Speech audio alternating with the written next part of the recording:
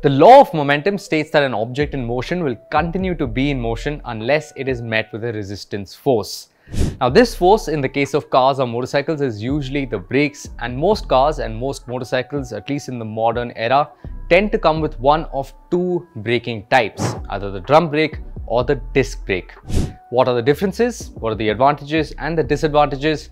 That's what we're going to take a look in today's episode of Simplified on Power Drift.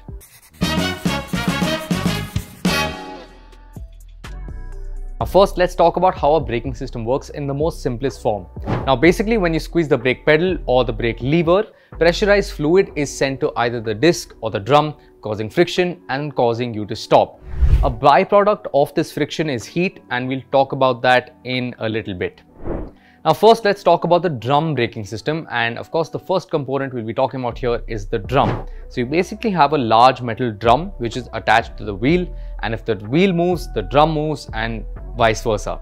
Now inside the drum you have a pair of brake shoes. Now these brake shoes, the primary and the secondary brake shoe, when you squeeze the brake pedal or the lever, these brake shoes will expand, they will rub against the wall of the drum and this causes friction, causing you to come to a stop.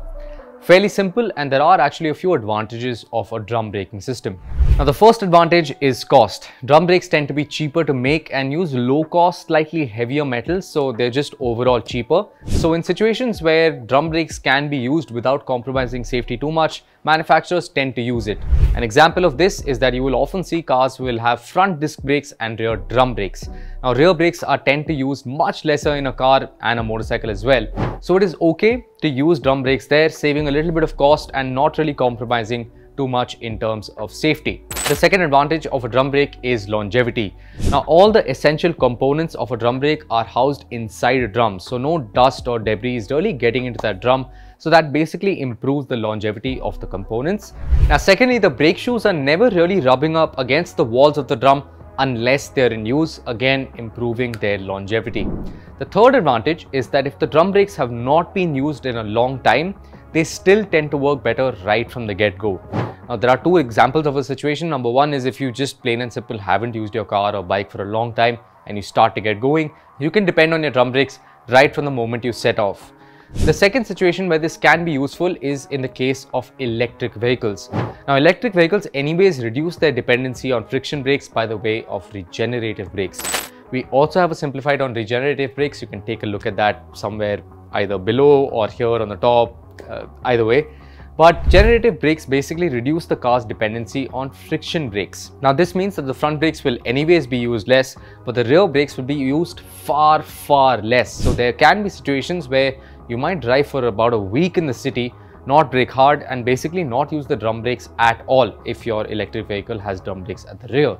Now in this situation, the drum brakes can be slightly safer as well because when you do use the brakes and when you do step hard on the brakes, the drum brakes will still be there ready to stop your car. Now there are a few disadvantages to drum brakes and these disadvantages are slightly more severe than the advantages of drum brakes. Number one is heat.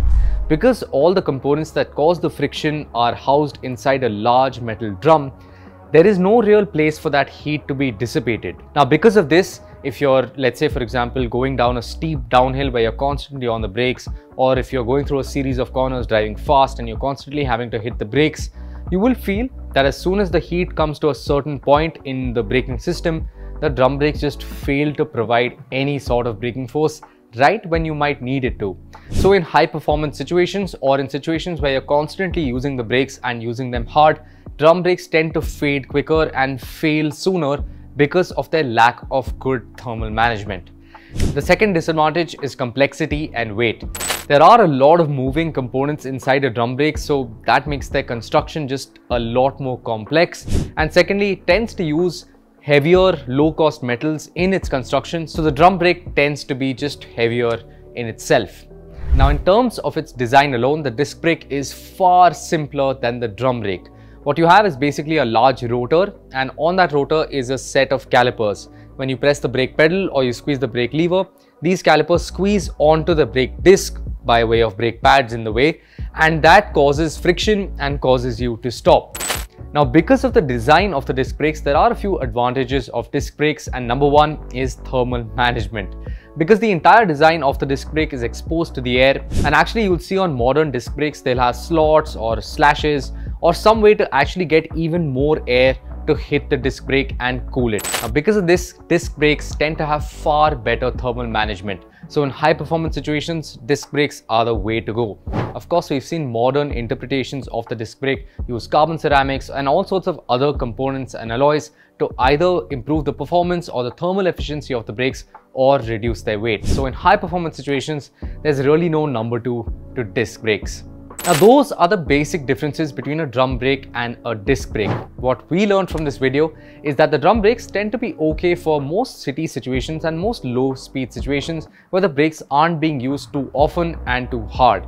As soon as you start to use your brakes very often and very hard and constantly, the disc brakes stand far superior. Another big takeaway for you should be that drum brakes are okay in the rear. Rear brakes are not really used that often, especially in cars. So it's okay for manufacturers to have drum brakes in the back without really compromising too much in the way of safety. And that's it for this episode of Simplified. I'll catch you on the next one.